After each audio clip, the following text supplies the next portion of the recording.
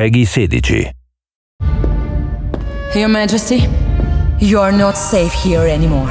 We need to get you out of Rusviet. But Rasputin thinks it is unwise.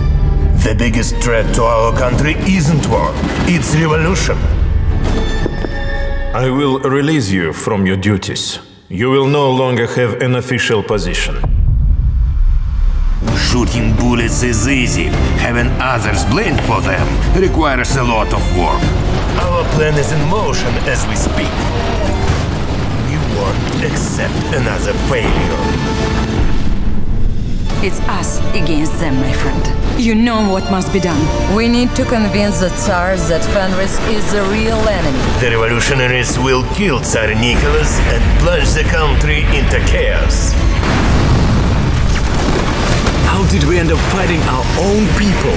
Colonel Zubov is one of their agents. He attacked Tesla's factory on their orders. We must stop them.